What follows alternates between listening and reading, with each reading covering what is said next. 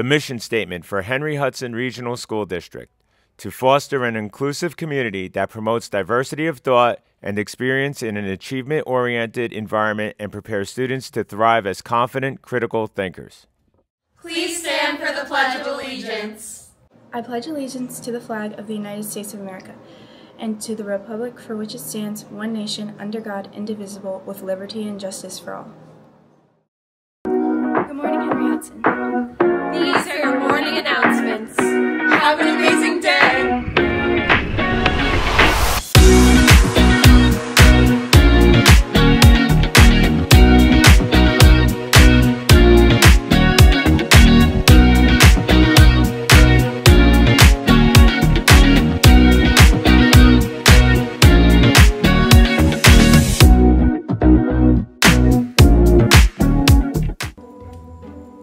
Good morning, Hudson. Today is Wednesday, October 23rd, and here are your morning announcements. Attention all students. Are you interested in working on crew for the upcoming high school musical? Please email or see Mr. Budnar to be added to the Drama Club Google Classroom for more information. Crew will be needed November 5th through December 7th. Tickets are now on sale for Urinetown the Musical. Go to showtixforyou.com and search HHRS to find our show. Tickets are $15 for adults and $10 for students and seniors. We will be having a door decorating contest during the month of October during homeroom. If you're interested in entering, it's $10. Proceeds are going to the Art Scholarship Fund. You will have a banner paper and tempera paint to use for this activity. You can grab materials in the art room.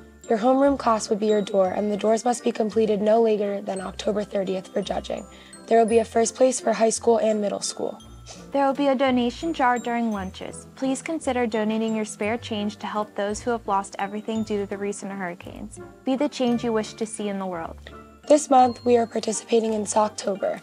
Socks and other undergarments are the most needed items in shelters. There's a donation bin and guidance. Please help us support our community. Tryouts for varsity cheerleading will begin on Monday, November 11th at 5 o'clock. Register for cheerleading online and make sure you have your physical and any necessary paperwork in as soon as possible.